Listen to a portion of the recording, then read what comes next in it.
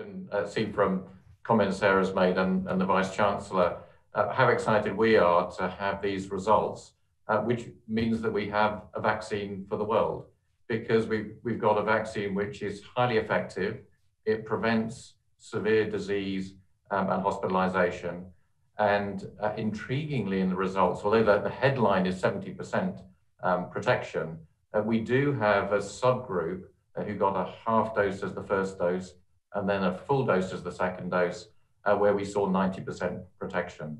So we, I think these are really exciting results. And because uh, the vaccine can be uh, stored at fridge temperatures, it can be distributed around the world uh, using the normal immunization distribution system. We don't yet know whether the, this virus will be mutating and, and uh, mutating away from uh, the immune responses to the vaccine. We, we don't uh, see evidence of that so far, but then vaccines haven't been used widely um, around the world to sort of drive the virus to, to try to mutate. So it's something we're going to have to be looking out for. It's an important part of the, the, the work going on everywhere in the world to, to do the surveillance um, of this virus. We'll be digging into the details of exactly why we get a, a better efficacy uh, with the half dose, full dose, and so far we've seen with the two full doses.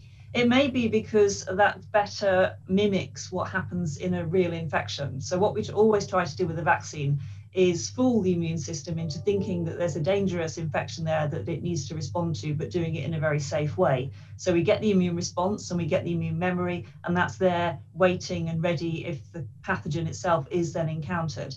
And it could be that by giving a small amount of the vaccine to start with and following up with a big amount, that's a better way of uh, kicking the immune system into action and giving us the strongest immune response and the most effective immune response. But more work to do on that.